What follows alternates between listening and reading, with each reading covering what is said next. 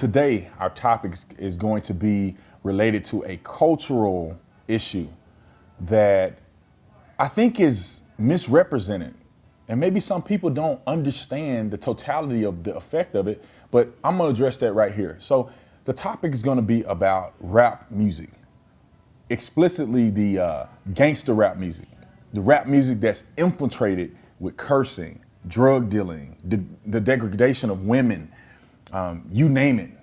You know, I think that that culture, that hip hop culture, has definitely influenced our young people, and it has been a true detriment to society. And I'm not just saying this because it's something I read in a book. I'm saying this because I have personal knowledge of this. I have personal experiences that have got me to this conclusion of believing that this is not good for our children and hip hop music is killing us. Literally. I'm not even saying no pun intended. Literally, hip hop music is influencing young people to kill each other, young people to treat women with disrespect, young people to act outside of character and, and to be enraged and to hate other people. This is exactly what's happening to young people. So I'm explaining in a few different um, topics. So the first topic is just my own personal experience. You know, I grew up listening to rap music almost every single genre that I listened to had something to do with rap, had some, something to do with explicit gangster rap. And it influenced and it impacted my mind so much so to believe it or not, people don't even believe me when I say this. This is this is a part of my testimony. Is that I used to sag my pants. I had gold teeth in my mouth. And I got Young Savage tattooed on my stomach right here. It's because of the mindset and, and, and the culture of hip hop music had me thinking that this was the appropriate way to dress, this was the appropriate way to act, this was the this was my role model. And in today's society, we have accepted it. Another aspect of hip hop music, the rap culture, gangster rap, that I think we're avoiding to address. For, for instance, let me give you an example of what I'm talking about. So, the President of the United States uh, made a statement um, that many people will believe was derogatory towards women, that it was inappropriate. I don't, I don't think anybody who heard that would think anything different. And the America was outraged. America was upset about that. And America voiced their opinion about thinking that that was wrong. And the president of the United States apologized for it, which, which I accept his apology. But this is the thing that I feel like that we, we there's no apology in hip hop music. Every song, every lyric, 90% of the rappers are saying things that are even uh, or, what the president said and worse with no apology. And they're not saying it 30, you know, 11 years ago. They're saying it currently today. Your kids who are listening to rap are listening to him say, these rappers say the same thing that, that you were outraged about the president saying times 20. And we don't talk about those things. We're not outraged about those things, which, which, are, which is troubling to me because we should be identifying these these, this language that's being used. We should be we should be identifying this culture that's infiltrating our, our society, and not just be outraged when one person say it, but be outraged at a culture that has way more influence. Way more people listen to hip hop music than would ever listen to the president of the United States. Period. It is just will never happen. So there's a another misconception that we have is that the effect, right? Some people will say, "Oh, rap music is just music, right? It don't really affect. It's just people saying stuff. It don't affect me." But I'm gonna tell you this, and this is this is like I said, this is from my own personal experience. When you live in Beverly Hills, rap music don't affect you, right? When you live in a gated community or you live in somewhere above the poverty line, you live in middle class America or you living in the upper upper echelons of America, what they say in these rap songs don't resonate with you. It sound good, it's cute, it's got a good beat, it's cool, it's trendy to you. When you live in the hood, this is like the gospel. You are seeing th- this rap music play out in front of you every day. You, you, you are seeing, you know, degrading women as a topic of discussion in almost any environment when you live in the hood it, you are almost considered a coward if you don't treat women or act the way these rappers are acting. If you're not speaking the lingo that rappers are speaking, you are nobody. And it affects people every day in these communities, especially in low income communities. Breakdown Friday, Joseph Ward, Professor Carl Tone Jones, Patrick Irvin. We are back here for another one. Thank you all for the love and support that you all continue to give this channel. Today, the question on the table is Did hip hop or rap or gangster rap or trap drill, did this music, did rap music, did hip hop music destroy the black community? Or was our community already destroyed? And this is just the music that was we were expressing you know the destruction around us. So that's the question on the table. You saw the video um, officer tatum i think he had some valid points but we're going to break some of these things down and see how this really affects us because this video he recorded this video i think five years ago so in 2023 how is it what's how is uh, hip hop music today? Is it positive? Is it negative? How is it really affecting us? But overall, did hip hop destroy our community? Patrick. Yo. Did hip hop destroy our community? No. Uh not single-handedly. um I think I think going to the clip, well, mm-hmm that's Officer Tatum, right? Right. Um,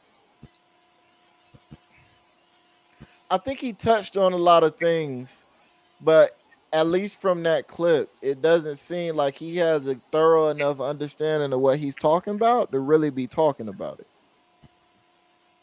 Um, but the shorthand answer to my question is Did did did hip hop destroy the black community? No, it did not. Not by itself, but it is a tool or a weapon that I think has been used to um, expose vulnerabilities and attack certain pressure points in the community. Okay, so what what type of weapon is it? Like, how has it become a weapon in your opinion? Well, for me, that gets into a larger discussion about how culture works, mm-hmm. how culture is shifted.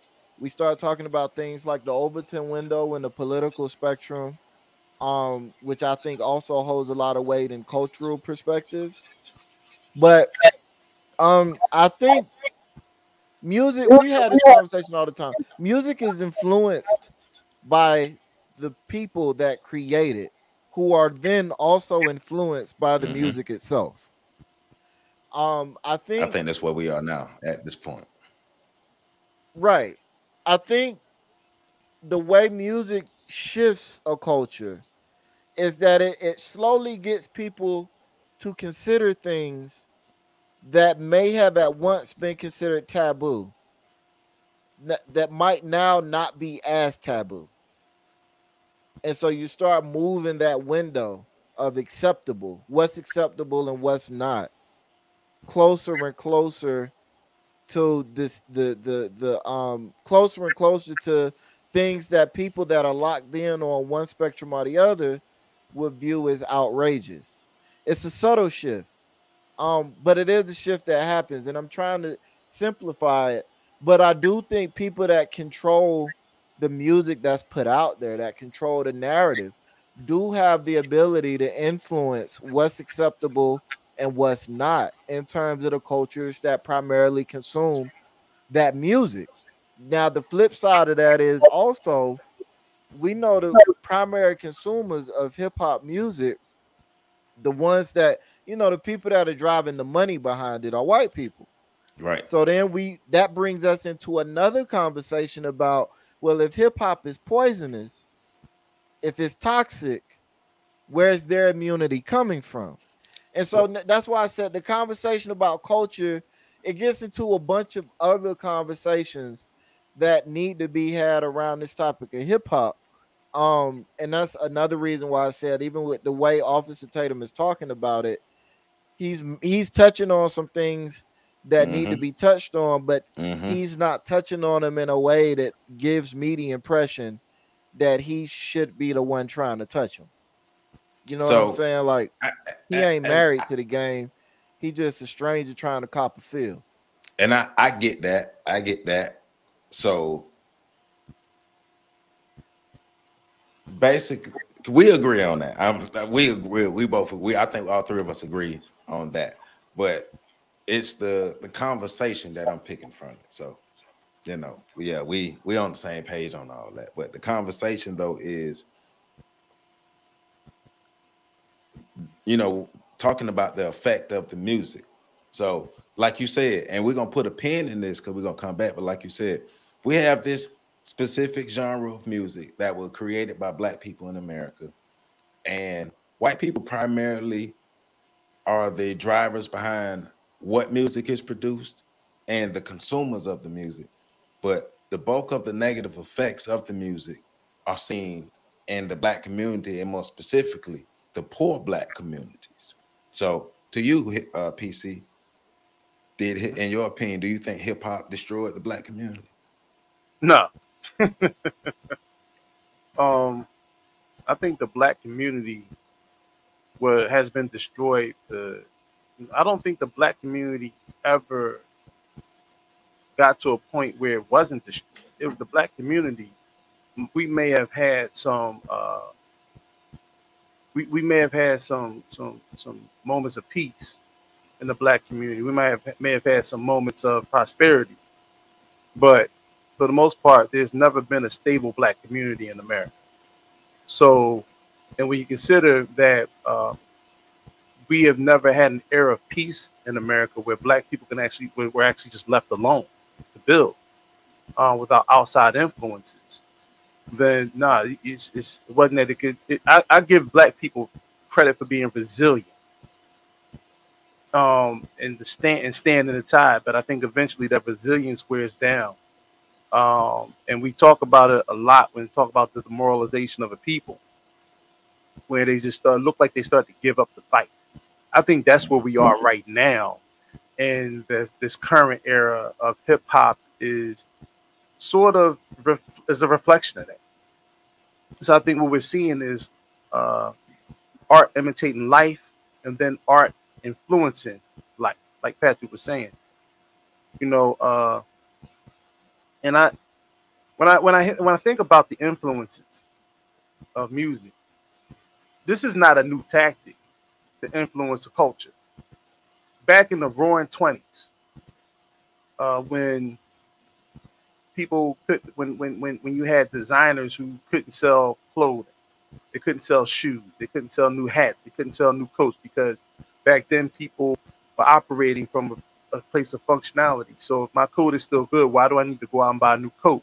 They started putting superstars in in these particular cars. They started putting superstars in these uh these this fancy attire, and they were utilizing that to influence people to if you want to live like a superstar, you're going to need this new coat. That's when mink coats started coming out. If you want to live like a superstar, then you're going to have to dress in this particular suit. If you want to be a superstar, uh, I mean, if you want to live the life of the rich and famous, then you this is when you do, and that's that sort of that that impacted how people were marketed to, how all these trends were marketed. So if we fast forward, um, you go to 1954, right at the time where the uh, you know the the the Brown versus Board of Education case was coming up in the Supreme Court. You had the United States uh, Department of Commerce do a study in a documentary called "How to Sell the Negro," and they were arrogant enough to actually make a damn documentary and put it on TV uh, to talk mm-hmm. about how they knew that they can influence black people with big names and this, that, and the other. See, once you get to the place where you can influence people the the method stays the same. You just change what you influence them influencing them with, and that's one of the things I think that that we're seeing now. Now you talk about the rap destroy, like, like not rap, but did hip hop destroy the black community? Well, let's look at it like this: when King Von first started rapping, he was already a mass murderer. He just utilized rap because he saw it as a way to to to to sort of like uh mock the people he was performing drills on and also and so that created a genre that that along with uh, Chief Keef out of Chicago created the genre of drill rap um, here in America. when you think about what that did, that wasn't hip hop. That was gangsters who decided to be murderers. I mean, gangsters who decided to be uh rappers and and utilize the music. Now, one of the things I say the influences is these guys didn't have to go through the loops that we had to go through if we were performing. If me, you, and Patrick was a group back in like 2020 or even before that, right in the 90s, we would have to shop our deal, our mixtape to somebody, hope a DJ would play it in the club and it would pick up. We would have to go to, to a radio station and pray that somebody would put our joint on the radio. And then the next thing you know, would pick up, and then we would get a call from a label saying they want to sign us and things that they don't have to do this no more. These got straight from Twitter, straight from YouTube, straight from Instagram, straight from TikTok. They go straight to it and they profit off of it. But now they have a direct line to the children. There's no buffers now. Yeah. Yeah. There's no buffer. There's no we if we want to know what our favorite entertainer, our favorite hip hop artist is talking about, all we have to do is follow them on Twitter, follow them on Instagram, follow them on TikTok, whatever, and we'll know what they're saying up to the minute. Hell, the uh, last president, the one before this one, didn't have a press secretary. Was press secretary is practically lo- useless because he was tweeting to the people. They were literally having meetings talking about how can I take his phone from him. We can't shut him up. And so now there's no buffer. Back in, you know, you talk about 30 years ago, you had to read a magazine, an article in the magazine to know what Tupac was saying about Big. To know to know what that there was an East Coast Right. West Coast beef and, and things of that nature, which wasn't, but it was actually generated in the magazine. But you you you had to read up on that stuff by buying a magazine. You didn't. You just couldn't. You you couldn't. You didn't have it in the palm of your hand like we have today. And so, so what's happening is we're seeing the direct influence of these things. And I'm just gonna say one more thing, right? What we what we really don't get is the psychology of it all. If you put something to a banging beat, that's what's going to draw the attention and the minds of people that are listening to it. Like that situation that's going on in Jacksonville, the beatbox remix. Everybody was out here doing the dance and you know doing the dance and, and, and to the beat, singing the lyrics, not paying attention to the fact that they were naming people who were actually murdered in the gang war. But they were the beat was hitting. That's the psychology of it all. Because So one, oh. Go, I'm sorry. no, I'm sorry. Go ahead. No, finish, finish up, finish up. the psychology of it all is if we play this over and over again, eventually the words itself, your, your second, your, your subconscious will pick up on the words because you're being hypnotized by the words. You're being hypnotized to be desensitized to the murder and the killing and things of that nature. You be desensitized to uh, the, the graphic nature that we see in these videos and the discussions and their back and forth beats. You know, uh, you, you're desensitized to the fact that wow, that's a 30 year old woman grinding and, and twerking on a 10 year old boy. We're desensitized to it all because the beat is slamming, and all we care about is bopping to the beat. And psychologically, subconsciously speaking, we're digesting and ingesting all of the negative stimuli from from those particular um, you know, from from the music. Right. So I don't believe hip hop destroyed the community. I believe, like both of you said, it was a tool that has been used to help get us to where we are today, but it wasn't the sole factor. But I also ask a question. What was the conditions of Black America in 1976? the year or, or what were what was going on around that time what were the conditions that this music were created in was this music created in in uh, positive conditions or negative conditions and that's a that's a question that's on the floor like what what was what was the culture like what was because we talking the south bronx 1976 so what was the what was the culture like? What was the conditions like in the South Bronx in 1976 when this music was created? Because we know party. It was created as party music.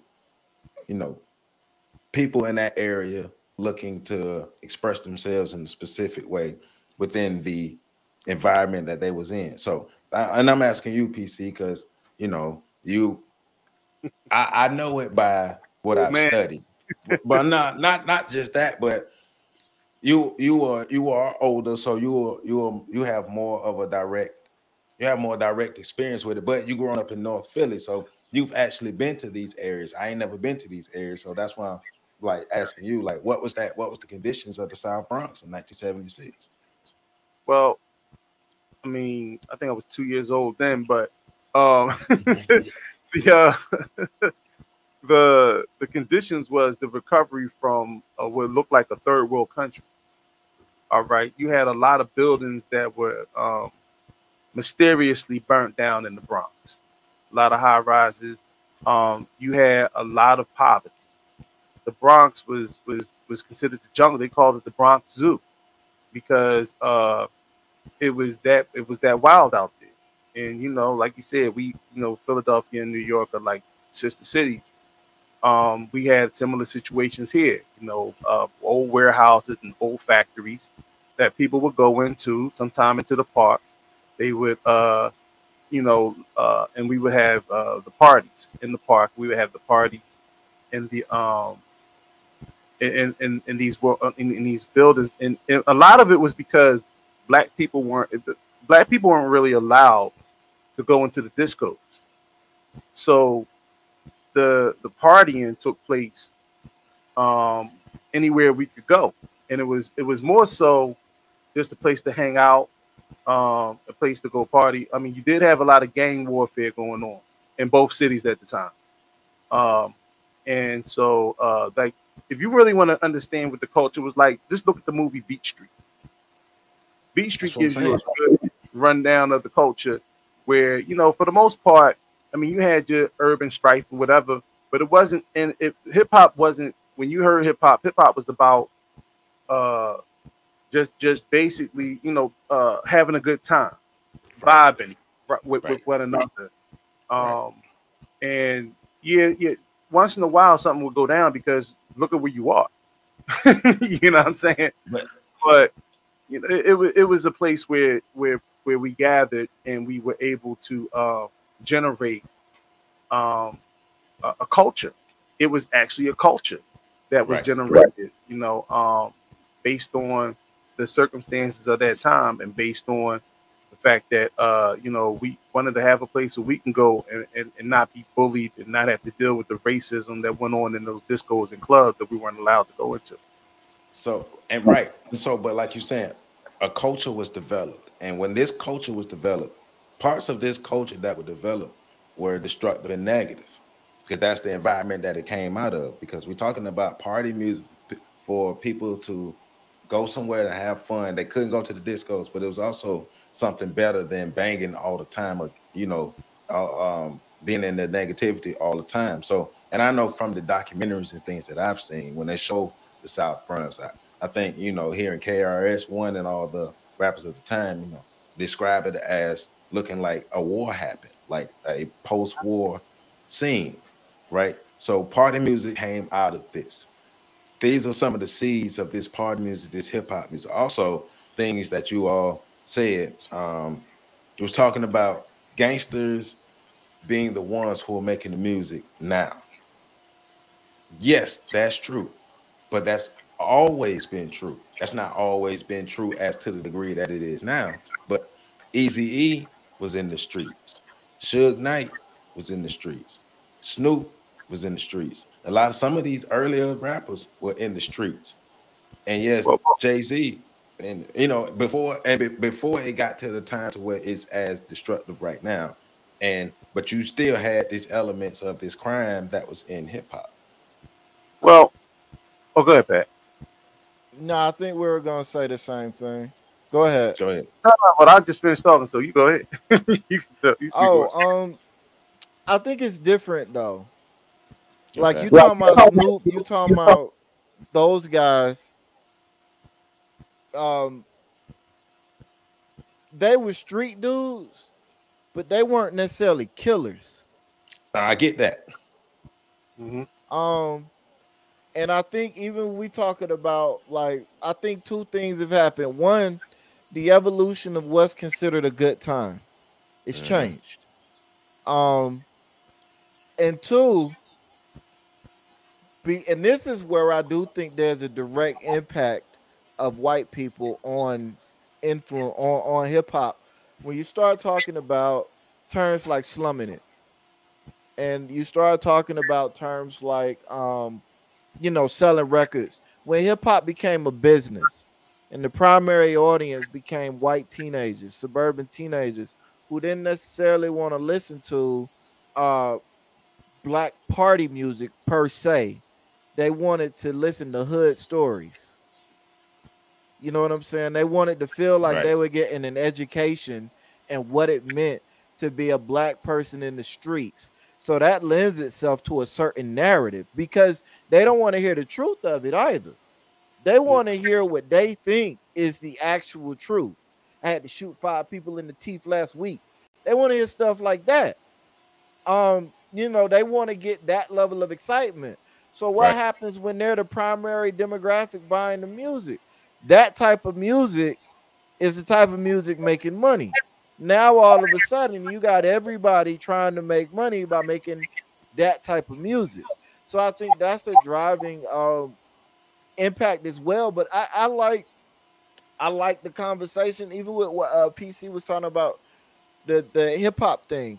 I or the disco thing. I get so tired of people trying to, and this is primarily KRS One pushing this movement. And yes, I'm I'm I'm, I'm, I'm I get so tired of this narrative that hip hop was created to save the community from the dark forces of the like that's revisionist history at its core.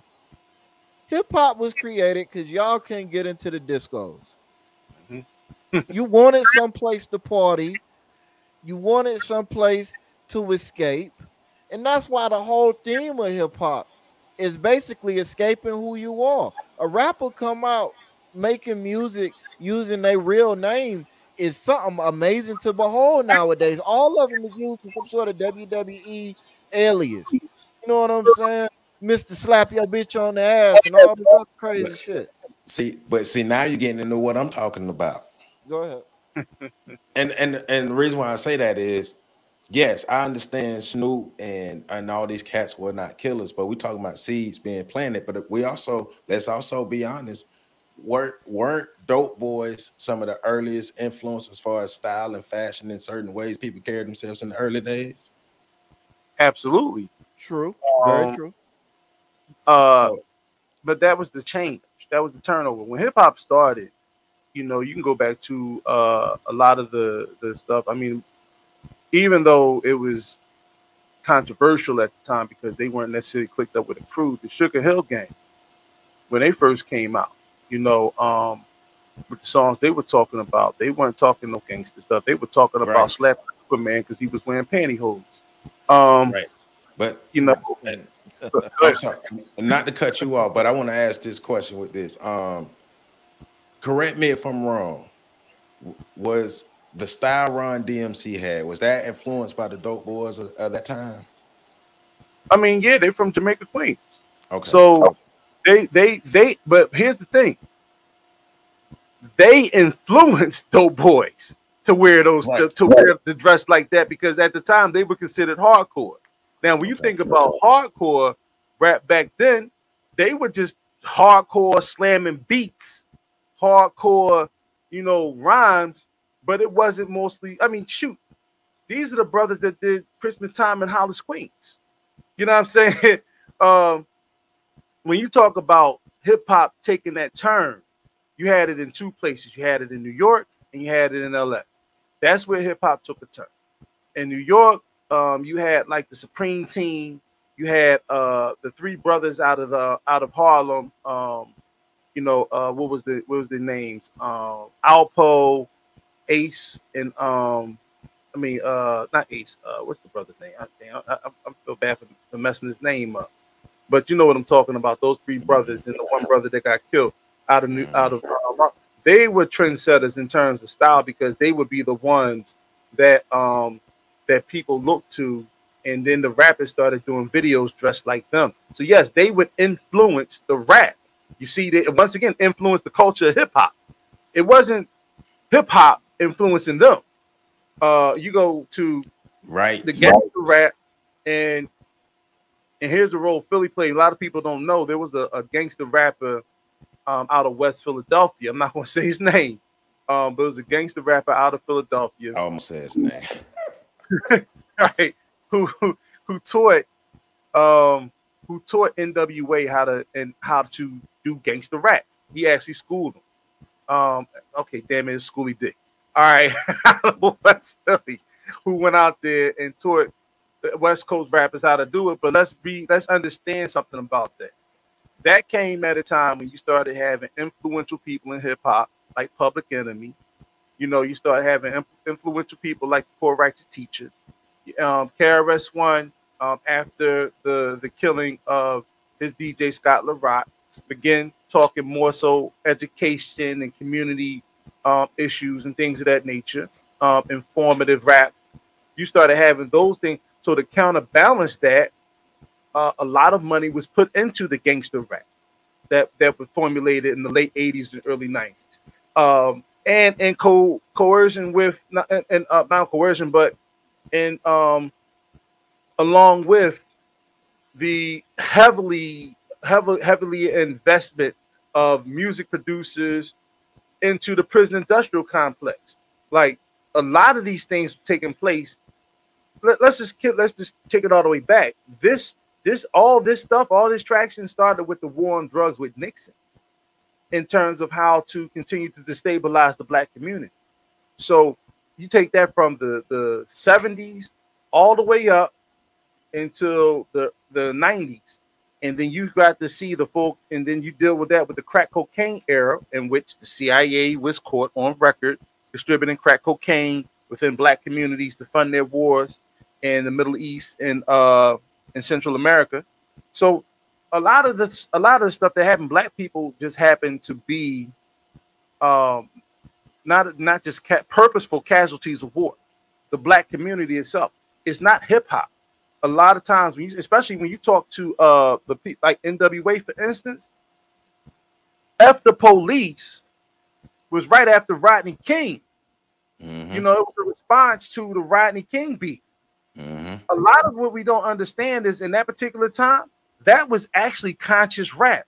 I got an education being from from the East Coast in Philadelphia. I got an education of what it was like to be in the hood in South Central, what it was like to be in the hood in Compton, what it was like to be in the hood in Oakland. I got a, an education on that from being on this part of the country. I got an education on the South when I heard the brothers from New Orleans talking about, you know, rapping, the brothers from Texas talking, the brothers from Florida talking. I got an education on that. That that in itself was the genesis, the culture of hip hop. Now Okay. it was perverted by by by the probably the same people that burned those buildings down in the Bronx. Can't say their names, but it was perverted in that fashion, and that's where you start to see all the different the the the the, the um the evil, the wicked nature of the or the I'm not gonna say the dark the dark side of of humanity in our community purged out into the streets and it became popularized. I just got one more thing to say. This is why we we we celebrate and we protect and we defend gutter culture. This is why when Sister Mo'Nique was telling sisters about wearing bonnets and, and fluffy sni- uh, slippers in the airport, why she got so much backlash. This is why when we tell brothers you shouldn't be dragging your meat all over the place, we get we get uh called out and, and we get reprimanded because we want to practice and hold on to gutter culture. Now that in itself, I'm gonna just leave it there. All right, so so you gave us a you gave us a, a little snippet of how the music influenced you, because I want to go there personally on a personal level. So throw it to Pat. Pat, how would you say hip hop music affected you on a personal level? Um, I think growing up, I don't think growing up, I didn't. I I loved East Coast music, East Coast rap, right? I loved East Coast rap. I I, I never really, I didn't get into southern rap until I was younger. Um, and I didn't really even put it together until recently, maybe a few years back. One of the reasons why, um, one of the reasons why I used to always hear get people saying you don't sound like you're from the South, even in Tallahassee, where I was born and raised. Mhm, People be mhm. like, "Where you from?" Like, no, I'm from here. I, like, so I started telling people I was from Delaware because they never believed me when I told them I was from Tallahassee. Um, and I think a lot of that was just based on the fact that like my favorite rappers were East Coast rappers. My like all of the stuff I was listening to, the TV shows, the musics, the the movies, the everything I was listening to and consuming, um, was not from my area. So I didn't sound like people from my area. Um, so that's one of the biggest ways I think when I think about just the raw influence, and the only reason I bring that up is because it was fresh. But um, I I do think there was an influence there in terms of how do you talk to girls, how do you dress, how do you move, how do you walk, how do you you know what I'm saying, how do you uh how do you carry yourself when you're in a situation? Right. um particularly a dangerous situation because them really was the only situations you was getting educated on. Um so even to that there was a component of it that went into um finding yourself unwittingly being excited to be in these situations. You know what i'm Mhm. saying? Like i think about when i first got mixed up in the drugs on the very first time I was transporting a cookie for some older guys, I was like excited. I can say it now. I was excited, like, oh man, I'm out here, I'm out here doing it. You Mhm. know what I'm saying? Um, and even when uh, I had my situation where I went to court, um, I had a situation where I was in the courtroom, I was 15, 16 years old, and I think about it now. Um, I had my my hands were shackled to my waist, my waist was shackled to my feet. You know, I was all shackled up like I was some kind of major threat. Um, and there was a moment where there was a bit of like, yeah, motherfucker, y'all better be scared. As I'm walking through the courtroom, it wasn't until uh, I saw the faces of somebody in the audience that I, I recognized and respected that that pride kind of drained away and gave way to the shame. Uh, the same shame that no longer exists anywhere in our community, sad to say. Um, but all of those things weren't just influenced by the music, it was also influenced by the environment that I grew up in. Like I grew up in every bad hood in Tallahassee, Florida. Every last single one. You name it, I spent at least me. a few years living there. Um, from the Bro, meadows to Texas Street and sunrise to Street, bro. Holton Street, you name it, I spent at least a few years living there. Um, so all of those things, so in that I get kind of kind of like, well, what was more of an influence? The music I was listening to or the environments that I was in? Mhm. And then that is kind of hard to parse that out because the music I was listening to was also describing scenarios, but those scenarios weren't familiar or native to mine because I was listening to East Coast music talking about being in Philly and being in New York and being in DC. Yes, I consider DC East Coast, not Southern. Deal with it. Yep, Um, yep, yep. Yep. So, and you know what I'm saying? All of that. Uh, but the, the the situation, Joe, you can attest to this. The situation in the South is distinctly different from those Mhm. situations. Mhm. Um, But- And see, ahead. that's but that's why I'm asking this specific question because you and I are both from Tallahassee, but we listen to different music. But PC is from Philly, right? mhm. And so we I, I think we all listen to different stuff. And so that's why I'm trying to get a feel of how the music personally affected each of us differently. Because after this, I want to move into how does hip hop specifically, why does it negatively affect the black community, specifically poor black communities? But you're hitting on some of the things there. So well, so uh, go ahead. So finish up. no, no, no. I'm gonna say this, uh, and then I'll be finished up. But I didn't even with the the the drug stuff like that. I can pinpoint that. That was Ti. I started I started listening to Ti. Um, I'm serious. 2000 2001 around about that time. Yeah, 2001. My cousin was my cousin had just got to take a a, a a a burnt CD from Atlanta. Guy on it. Then nobody knew who he was at the time, hmm but he was snapping. Boy, Um, it was wild. Like that was and T.I. was really the first Southern rapper that I was like, okay, I could, you know, T.I. he sounded like a Southern rapper, but the way he was putting the words together, that wasn't Southern like up rap. north boy. Yeah, like yeah, he was putting them boys. together like an up north boy, but he had the Southern swang on it. So it was to me, I was like, oh, I'm, I'm vibing. But almost every song on I'm Serious was Dope Boys in the Trap. Either that Right. or some funny shit by I Can't Be Your Man. Right, pimping. You know what I'm saying? Um, track four on I'm Serious. I think that was the storage uh, show. These niggas robbing me. I Yeah. swear to God, it's not Like, but so- robbery. but- yeah, even that, like talking about a, a dangerous situation, going to hell and blasting the devil with, with 44s and shit. Like it was just so yeah. I can pinpoint that. Um I live after listening to that album uh at that young of an age, I was like, man, See, I'm yeah. trying to do it. I'm trying. I'm trying to see with the music. You know what I'm saying? I'm trying to live that. I turned into a Look. white boy listening to listening to hip hop music, and these niggas are wild out here. trying to see what that's like. Hey, and you in the projects. Right, right. Which That's is funny. the crazy part of it. Right, I'm in the projects, listening to somebody talk about something that's allegedly happening in the projects, and I'm like, I'm trying to see what that's like.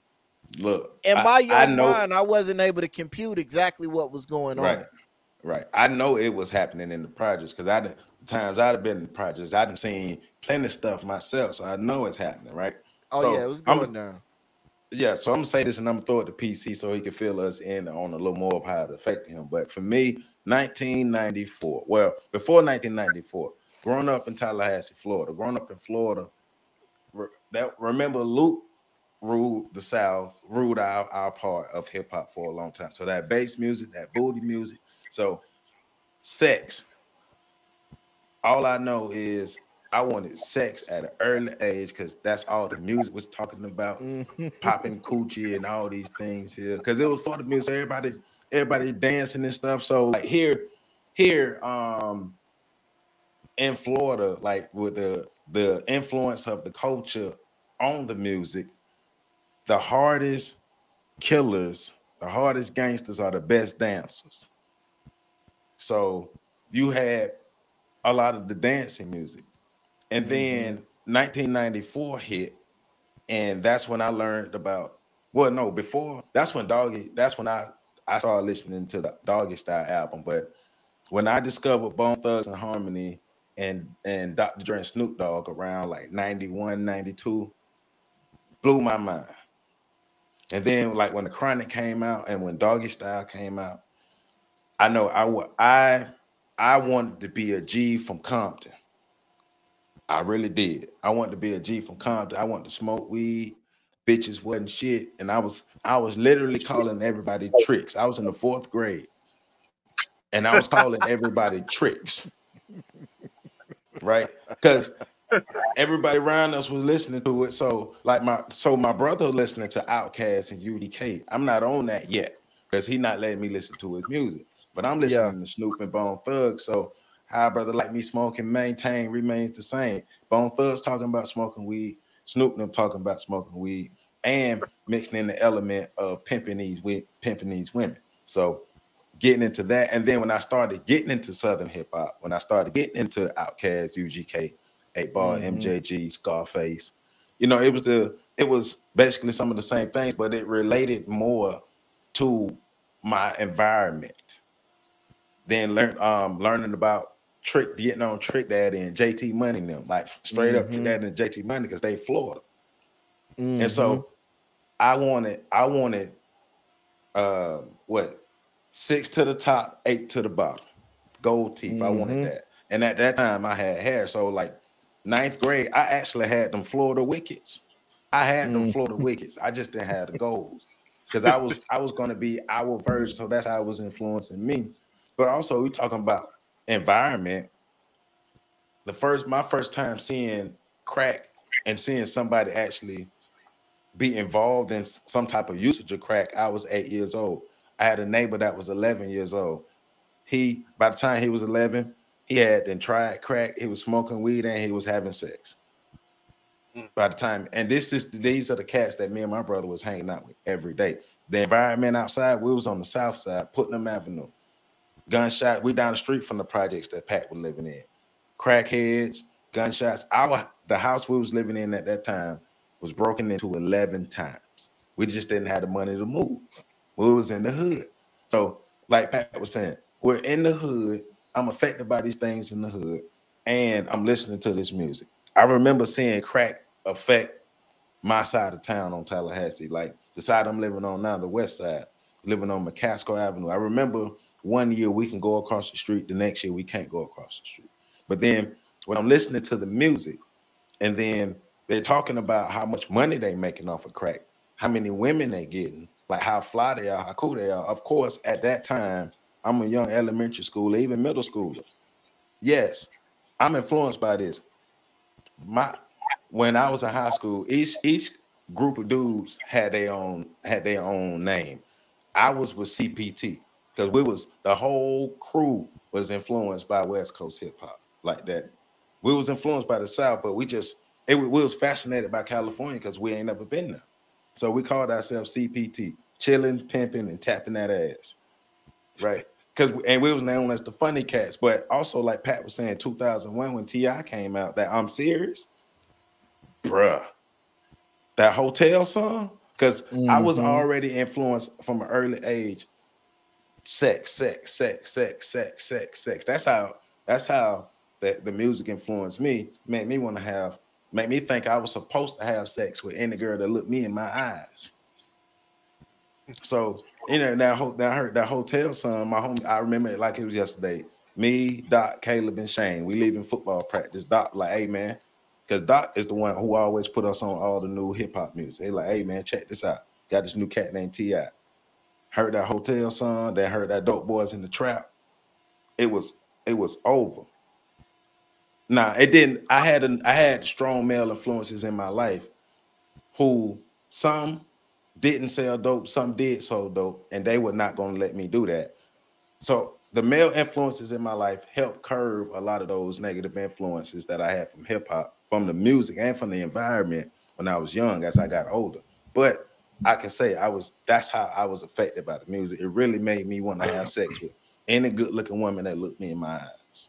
So that's it's, that's me. How, Go ahead. See now, now real quick, that because what you said right there was interesting, just because we grew up in the same area, right? Right. But listen to different music. I remember Hotel. Hotel was the first song I really paid attention to where they was where somebody was rapping about getting ass, and I thought it was lit. Yeah. Um. Well, we ain't say lit back then, but you get what I'm saying. Um, you said live. yeah, it was live. That shit fire, cause fire ain't new.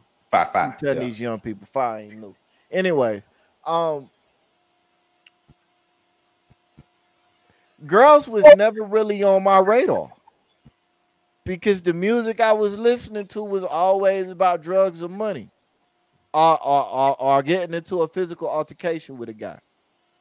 So my early formative years, elementary school, middle school, I ain't calmed down until ninth grade at Rickards.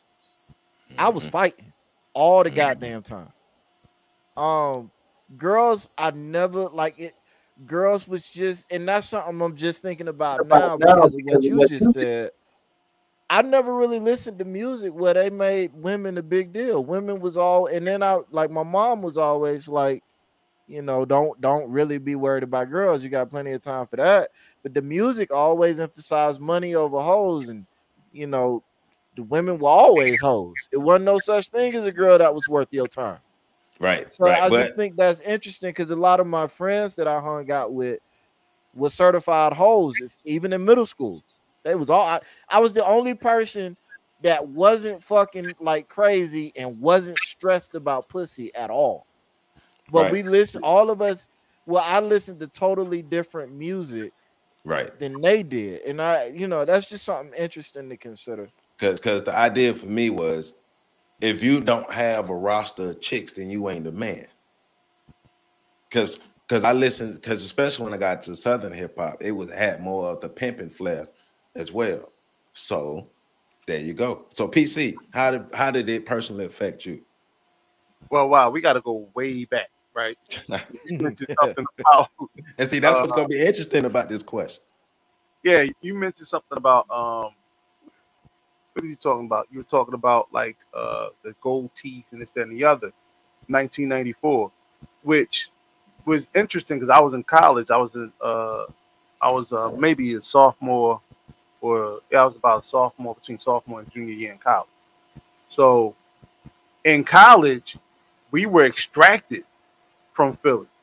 So we didn't get the Philly vibe up there. We got whatever was on MTV, whatever was on BET. Was BET out back then? But, um, Mhm. whatever was on MTV and BET. We were all wearing um, flannels, like the the the um, flannels that they were wearing out there in uh in in uh LA. We were all like dressing like that. That was the cultural influence, but it was. And then when you start talking about the word trick, we had some brothers from Harrisburg that that was the only word they used. You know, everybody was a bitch ass trick. so when you said that, that's why I started laughing because it took me back to that because um, at that particular time, East Coast music was like dwindling. It wasn't until later in '94 where Biggie Smalls sort of like resurrected the East Coast music um, um, because the East Coast music was more about you know uh, metaphors and being able to put slick lines together. It wasn't until Biggie came out with the hardcore, you know, if you don't know now you know. It wasn't until that that the style on the East Coast actually changed again and sort of like became relevant in that particular time. So that was interesting. But you know, um, like if I want to go back to like the influence of hip hop on me in that particular time, yo, we was all breakdancing, um, battle dancing. We all had the the cardboard on the sidewalk trying to do windmills and stuff. Um, you know, the popping, and you know, I mean, I can still do a little bit of it now, you know, you you know what I mean? we, we but it was more so uh we learned a lot of new dances a lot so a lot of it was a social but here's the rip on this side at like the dollar parties rent parties and things of that nature the basement parties we didn't really dance you know when the music came on if you was dancing people were looking at you like you sweet like okay we're gonna rob him after this so we didn't dance in those parties we was Yeah. we we would lean on the wall. We had this thing called the Erie. I'm from Erie Ave, so we had this thing called the Erie Ave strut, where you just stand still and do a two step. But that was you. That was all you really were allowed to do. You went in trying to flip around and do all kinds of craziness, man. People look at you sideways. But uh, we um, but when you think I was shoot as a teenager, 13, 14 years old, we had our own rap crew. Um, I had two turntables and a microphone. I was sitting there trying to learn because Jazzy Jeff and the Fresh Prince. That's when Will Smith was the Fresh Prince, y'all. They, they were from Philly, and Jazzy Jeff was a highly renowned DJ. He had this one particular cut called the Transformer Cut, and I had to find the song, and I actually learned how to do the Transformer Cut on turntable. Um, but so so hip hop had a tremendous influence on us in terms of culture. Because you got to think about it when you're a, po- a people that's in poverty and you real poverty. You know what I'm saying? Uh heat off for the winter. You using um hot plates to heat up water to to you know um to to so that you can wash up and get ready for school. Uh you had to take a bath, but to take a bath you had to fill up like you had to run like two hot plates with the big ass uh baking pans. Um, that those turkey baking pans that people use, those roaster pans, to, to fill up the bathtub to take a tub. You know, when you live like that um, for a little bit of time, you had you try to escape the, the reality that you're in. And hip hop gave us that escape. Rapping, we would be at the lunch tables, beating on the tables, uh, you know, either mimicking our favorite rappers or or putting together our own style, you know. So it was an escape. It wasn't until uh, we started getting to high school and we started hearing the announcements over the, the PSA that uh, you know, one in two thousand of y'all are going to get killed today. And they would literally say that at my high school. I went to Simon Gratz High School. They would literally say that over there. You know, we would hear that. Um, not every day you would hear it, but you would hear it enough to say that you know that. Um, and at the height of the crack cocaine era, we knew that people. That's when we started seeing bodies drop in our age group, and we're talking like 1990 to about 1992 that's when we started seeing that that real impact of of that. But then that was sort of immersed into hip hop culture. That wasn't hip hop culture. So that's why I'm mm-hmm. saying the culture itself didn't destroy the black community. The black community has never been stable. We've always had to fight those situations, and that the resilience, hip hop was the resilience of that. Hip hop was us broadcasting our stories because we right. didn't get to tell our story. So when you started hearing um like the Boogie Down Productions and they started telling the stories, the Poor Righteous Teachers, they started telling the X Clan, they started telling our stories. When you start hearing, like I said, I go back to I think one of the most conscious rappers, one of the most conscious albums of all time is America's Most One. It's one of the most conscious rap um, albums I've ever heard because Cube wasn't he wasn't breaking down like he wasn't glorifying or glamorizing that lifestyle. He talked about going to his chick's house and then finding out that it was a crack house and he's trying to leave. You know what I'm saying? And he got caught up in the mix. You know, he's talking about uh policies and and, and, and politics on that particular album. You know, uh, a lot of people don't really understand that. When we heard, like I said before, that uh, hearing about to learn about uh my first trip to, to the West Coast was Las Vegas in 2000 in the year 2000 to learn about that, I took the rap music that was going on out there, and then I read two books. Monster Kody Scott book, which is excellent read. I suggest everybody read. Rest in peace, Monster Kody Scott. He just died a few years ago. Um, and there was another book talking about the destruction of uh of of uh Death Row, something like the downfall of Death Row. And I read those two books on the airplane going to California. I mean, going to Nevada, to um to Las Vegas those that's how we learned about the different cultures, and that actually helped me navigate because there was some gang shit going on in Vegas when I was out there. Um, I literally stayed in the same hotel that Tupac was in the night he got killed, the Luxor Hotel. So there was some gang shit going on out in Las Vegas that I was, I was, I was able to peep because that's that wasn't the culture here at the time, but I was able to peep it because of what the music showed me. It was kind of like a roadmap, like a do's and don't, and what to look out for.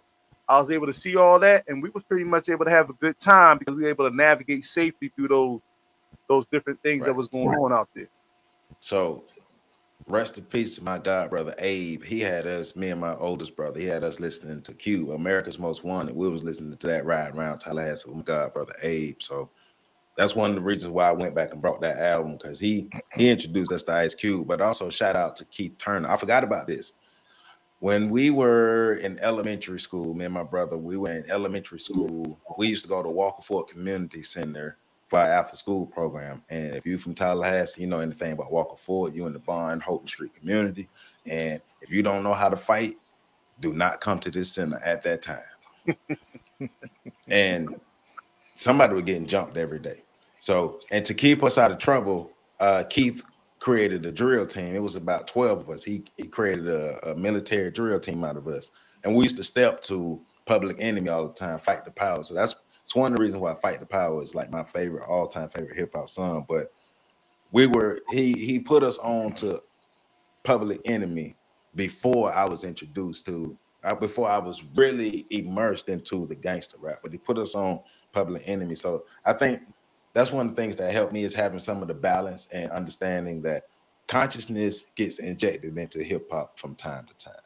and being able to be exposed to that, but also having actual real men in my life, my daddy and everybody else, who I knew that I couldn't do a lot of these things these rappers was talking about because I was gonna get my head cracked. Now, two more two more quick questions on the table, so then we're gonna wrap this up. So right, before you before you do that, I just want to say shout out to my big my, my big homie, my OG, uh, Professor Griff. Man, solid brother, man. yes, Just sir, yes, sir. I, I met Professor Griff uh, once we came up. He did a lecture here at Pan Music Page, and I was able to meet Professor Griff. So shout out. So, Mhm. why does hip hop negatively affect poor black communities in a way that it doesn't affect other aspects of a more affluent black community or even other races or cultures or communities? Why is that, Pat? I think it's about identification. Um, one one I think one part of it is uh, people that are in poverty that are lacking resources are looking for a way to get resources. And rap in particular positions itself as a blueprint to getting paper. A lot of the songs, a lot of the uh, you know outlines for getting paper. But I think on the other side, they they talk about rap nowadays, especially, is billed as something that has a connection to the pover- impoverished communities. The people that are in those communities see themselves in the rappers because the rappers do their best to position themselves as something that is like the people in those communities. Um, even though we know nowadays it's really it seems like it's two it's really only two types of rappers out nowadays. One the murderers, the the actual killers, and then two the suburban kids pretending. It don't seem like it's a lot of middle ground. Either use a stone cold killer or use a, a hardcore faker. Um so but I do think positioning is one um identification is one. I think with the more you grow up into the uh, upper scale of life in terms of the access to resources and opportunities, one, the less you identify with hip hop, really like on a core level. But I think two, the less you have a level of desperation that will cause you to look at hip hop as anything other than entertainment. You know what I'm saying? Like, Right. if if if all your needs are met and you got a path moving forward and you know that this ain't your life, you can look at it. And this is an argument I have with people, middle class black folk, all the time. Is as somebody that come from poverty, now I'm living in the middle slash upper class of life, and they have been there their whole life. They've been here. They whole. They don't understand. So they're always like, "Well, how could you not see it as X, Y, Z?" And it's like, well, you're saying that from a position of somebody who's always had access to resources. So you can see it as entertainment because for you it is just entertainment. For me, growing up with absolutely nothing, this was a window into a world of extreme excess. Yes. I'm coming from a world of extreme lack. I want to get to where they at. So it don't seem to me it's a blueprint. It becomes a roadmap. If I follow this roadmap, and that's that's also why you throw a rock in the hood, you hit a rapper. Mhm. If Right. I follow this roadmap, because like PC said, we used to do the same thing. We we used to freestyle battle all day and all night, literally all day and all night. Everybody in my circle had a dream of being a rapper. Me we was gonna get out the hood by rapping because Yep. they did it. Yep. Those of us that knew that we weren't necessarily gonna be pro athletes, the only other option was rap. Yep. So I think um that tho- those are the biggest things is the the positioning of the artist, and that's not just the artist because we know the record labels, the record execs, the industry, the the machine behind the music positions these people in these places to appeal to a certain demographic for certain reasons. And one of the reasons that they appeal to young black kids, young impoverished communities, is that they like they they position themselves as something that's like those people, and even in doing that, they now gain credibility for the bullshit that they rapping about. You know, if people that are living in that environment view you as a credible source, people that don't live in that environment also view you as a credible source. So you get into this interesting dynamic. Um, and I think a perfect example of the way that whole machine works is when you look at uh uh the rainbow dude, Tekashi 69. You know what I'm saying? He got stamped by the hood, which made him certified, even though people that knew better knew that he wasn't. Yep. Mm-hmm. And that stamp remained until he took it off. Hey. So, So I think that's a short form answer because I know we're going long. PC, why does, in your opinion, why does rap music, especially nowadays in 2023, why does it negatively affect the black community, poor black communities, different than other communities? I used to let my tape rock till my tape pop, sipping on bamboo, drinking on Sam. What is it? Smoking on bamboo, sipping on private stock, Stop. Yep. Way back. um, hanging pictures on the wall every Saturday. Rap attack, Mr. Magic Marley Marl. Oh, So that was like we idolized that lifestyle because we saw people who lived in the same places, like Pat said, come up. I used to listen, man, and I don't tell this story for. I used to freestyle with the Roots, like in ciphers, rap ciphers. They used to come to the school. My, they used to come. I'm put up. They used to come to Bloomsburg University, just in case anybody want to check this out. My man, one of my brothers, a good brother, of mine, Armin, he they was his homies. They would come up every other weekend, and we would get into a circle and cipher. Now, I'm not saying I was like them, but I was the guy that typically started off because I was with I was the warm up. So while they were thinking about, you know, they set it off. uh, While they were thinking about what they were going to say, I'm out there flipping and flopping, dipping and dopping, and saying whatever. And um, this is when we would drink out of trash cans.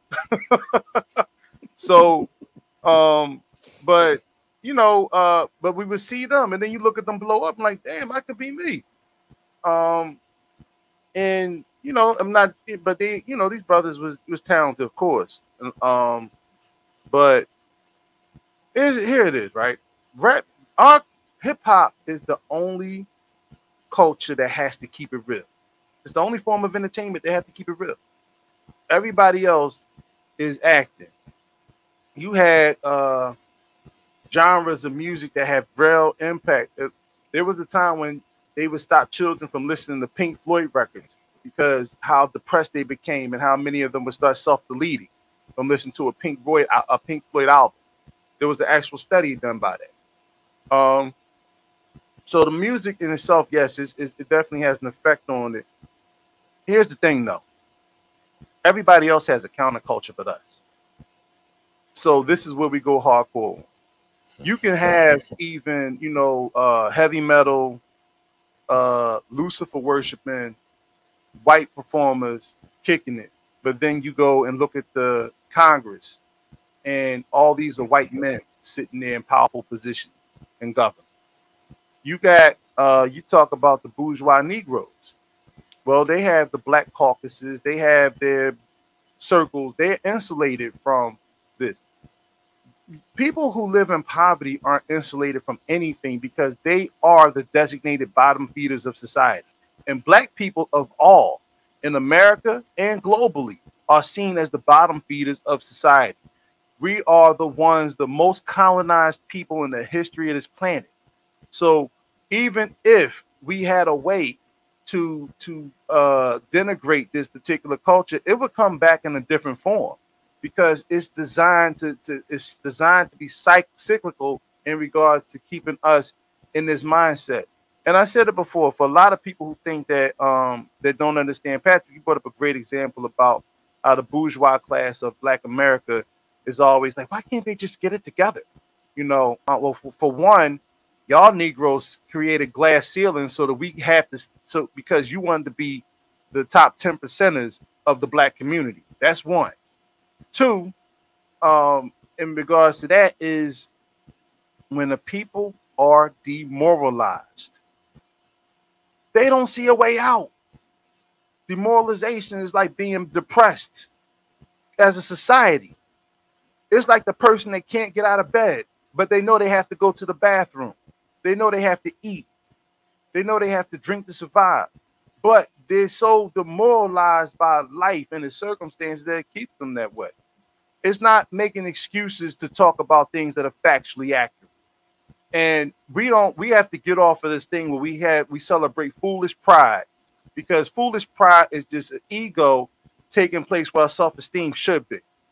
But because we're people who are, have um, been identified, not just identified, but people who operate in low self-esteem, demoralization, and things of that nature, it's very hard to get somebody to get out of that funk, to think that they can actually build something. Because we only have one chance to build it. Every time we build things, we don't have safety nets to pick us back up. We can't make mistakes, especially as black men. We can't make any mistakes. Our leadership is questioned everywhere you go. We can't make mm-hmm. any mistakes. We only have one chance to get it right.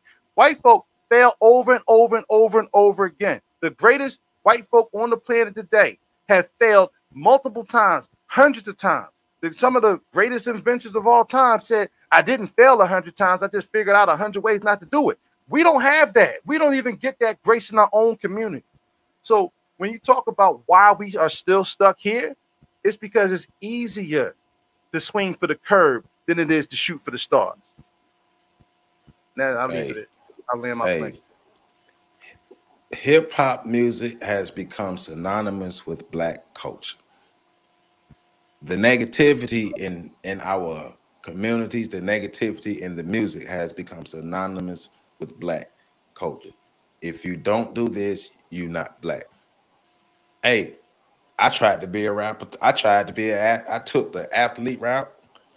Football didn't work out. Tried to play football at FAMU. Look, we got messed up by the paperwork. The paperwork. so we was already freestyling in high because my, my my group of friends we was known for having fun, being funny, and freestyling all the time. So we was already freestyling. Matter of fact, we used to get kicked out of class just to go freestyle. Kids don't do that. So Ashanti Floyd, the mad violinist, mad violinist. Shout out to Ashanti, he doing his thing all around the world. He got it. we say we say he uh, got his early practice on us because we used to go out to his house and make songs. As a matter of fact, we made a we I think we made two albums. Out, so we was bold enough. Our first album was a double disc. It's not good. It's not good at all. I, dude, I would never let I, you would never hear that. I do not want people to hear what I was saying. You would never hear that. But after that, me and my homie Caleb and the homie Doc, we decided to try to become rappers for real. So we created Classic Status Records and we had a booth in our house and we was creating all types of music and stuff we just didn't we didn't understand the business of it coming out of tallahassee and then t-pain popped. now everybody want to be a rapper because you're right we feel like music and sports is are things that get us out of our poverty these are things that we we should do because it's black culture. This is what black people do. We make music. We we do we make rap music. We make gangster rap music. But I also think that it negatively affects our community because some of the things you guys said, there are no buffers in our community. The same people who destroy the communities are the rappers these days.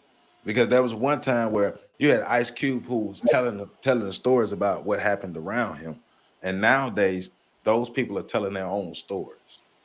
Nowadays, I think from the beginning, though, hip hop was created in a vulnerable, declining community.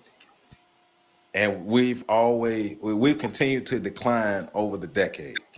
Now, so now, so now in 2020, in 2023, we have this genre of music who has all these subgenres of music who are even more degenerate than the actual genre of hip hop itself. Southern, Southern, uh, I mean, rap country tunes. That's what we call Southern hip hop, rap country tunes. It's not always been the most positive music. Like I like, I like to listen to UGK. If you know anything about Bun B and Pimp C, you know they don't make the most positive music. Uh, is there balance in it? Yes, but that's the thing. The balance nowadays doesn't exist. Who controls the music? We don't. We gave up, like black people created the hip hop music and gave up control of it in the early days, but people don't want to talk about that. But I believe the the music negatively affects us because we believe that we are the negative things that's in the music, and we believe we are the negative things that's in the culture. We want to be that. Think about it. When Glorilla song came out, when FNF came out, we all three of us, because we had multiple phone conversations where we was looking in the comments, and we seen women saying, "Hey, I know I'm a 45 year old married woman with three kids, but this song is my spirit animal."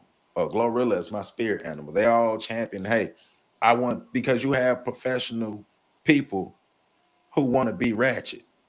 Like you say, you got the you got the black people who didn't grow up in poverty. Like if I hear this again, if I hear another another child say, I want to be hood, like I've had parents tell me they had battles with their children because the child wants to grow up hood but the parent actually has a lifestyle that's not hood. But the music and the culture, because what it's synonymous with black culture now. Everything negative about the music, everything negative about our culture is what authentic black culture is now. That's how it's seen today. So, last question on the tape. And should we get rid of hip hop music? PC, go to you first. Should we get rid of hip hop music? No, no, no. I think one of the things we need to do is listen to what's being said. Um, a lot of times, these young folk are just they're, they're right now the message of the community, just like it was broadcast to us um, over the last 40 years. We have to understand what the message is, and the message is to create resources so these young people don't have to rely on the streets to survive. They don't have to, to you know, see themselves as ops. We need to come back to those places. There was a time on my block where you have people who own businesses and you get to see them get up and walk out in the street on a day-to-day basis. Um, you don't have I'm I'm one of maybe three professionals on my block today. But you have business people who had businesses um, who were shining examples of what we could accomplish who we could be. They were they were the influencers at that time. And we need to get back to coming to those neighborhoods. A lot of people talk real crazy because they're scared to come back here. I I left and came back, and I'm not going nowhere until we fix what's wrong. Now, you know, and that's a dangerous thing, but we always talk about being in a war. I've never seen a war that was safe. So if you are about that work and you just don't want to be, you know, uh, a scholar you know, because I don't know what a warrior scholar is these days, but I do know what warriors do. And you come back home and you answer the call to what's going on in those neighborhoods. And that don't mean you have to move down here, but you have to create a presence down here because everybody else feels very comfortable coming to the places you called home at one point in time and setting up shop. It is. Pat, should we get rid of hip hop music? No, because I agree with what PC said earlier. It's cyclical. One, I don't think we realistically can. Not, even, I don't even think we can like imaginarily do it. but if we did, the the same type of people that are driving hip hop right now would find a new tool to drive, and, and the music would come back around because the core problem in hip hop is centered in the community and the culture.